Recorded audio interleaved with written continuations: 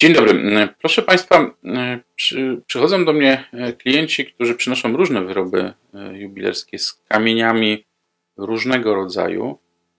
Z reguły to są kamienie syntetyczne i przynoszą e, certyfikaty zapakowane w taki sposób, certyfikaty GRA, są chińskie. To akurat jest GRA Moisanit. E, to się nazywa GRA, to jest Global Gemological Research Academy i pytają mnie, jaką wartość mają te certyfikaty. Czy one są, e, czy one są e,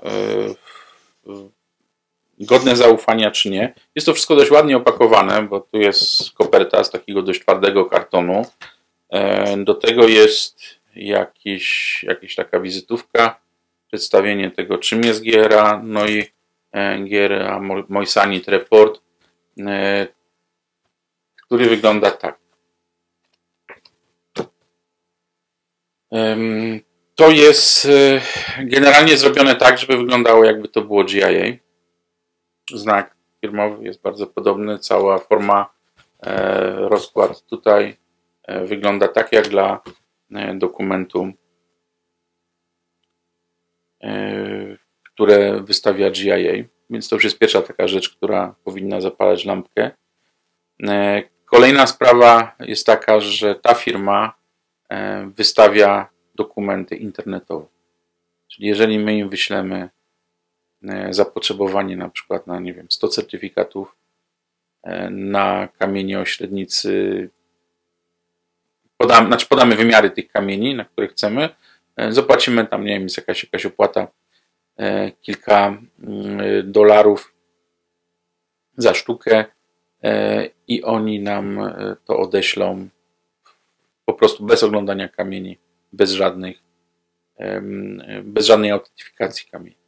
Bez względu na to, czy to jest Mojsani, czy to jest Cyrkonia, czy to jest cokolwiek innego. Także e, mając to, e, wiemy jedynie, że producent, e, który produkuje kamienie, czy to naturalne, czy syntetyczne, czy jakieś wyroby sztuczne, po prostu zadbał o to, żeby ktoś mu wydrukował ładnie wyglądający papierek e, i może się zupełnie spokojnie może się okazać, że to, co dostaniecie, nie będzie tym, co jest, co jest opisane. Że będą się różniły wymiary kamienia, e, że, że wręcz będzie dostarczona cyrkonia zamiast na przykład mojsanitu.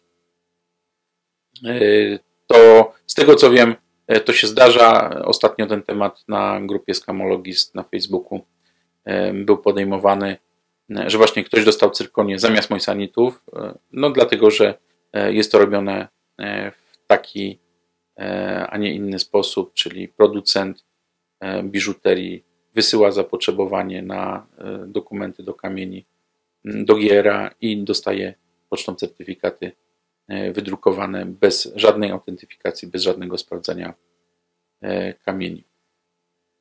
Jest bardzo dużo firm, które działają według tego schematu bardzo dużo firm w e, Indiach, e, tylko oni się specjalizują w tym, że e, drukują dokumenty wyglądające tak, jak karta kredytowa, a także spotkałem się z takimi praktykami oszukańczymi w Ameryce Południowej.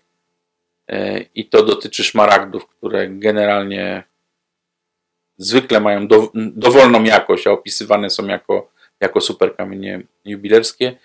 E, I, no i, właściwie tyle. Czyli Chiny, Chiny no to jest GRA, pozostałe to jest e, to, to, są, to są właśnie takie dokumenty na, e, wydawane w formie karty. Dlatego dokumentom takim drobnym w formie wizytówki czy w formie karty proponuję nie ufać, bo często się zdarza, że kamienie syntetyczne są opisane jako naturalne, ewentualnie nie jest kamienie naturalne niepoprawiane, są, e, są opisane w dokumencie, a kamień, który się dostaje, jest kamieniem wypełnionym szkłem e, albo bardzo poważnie rekrystalizowanym.